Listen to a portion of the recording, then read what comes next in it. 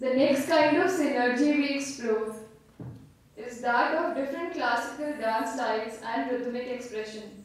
The styles explored are two forms of Indian classical dance, Bharatanatyam and Kuchipudi.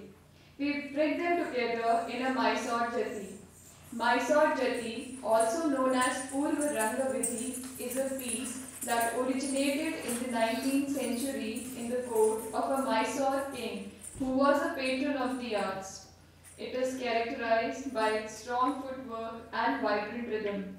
The repeating motif of this piece is a salutation to the king.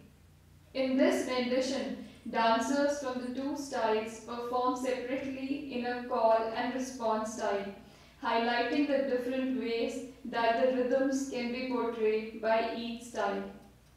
As the piece progresses, the dancers transition from two groups conversing with each other through dance, to one group dancing in unison, thus embodying convergence.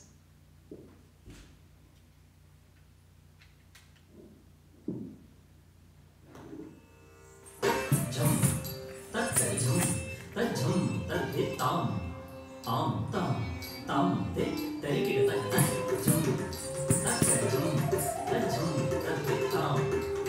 de, Thank you.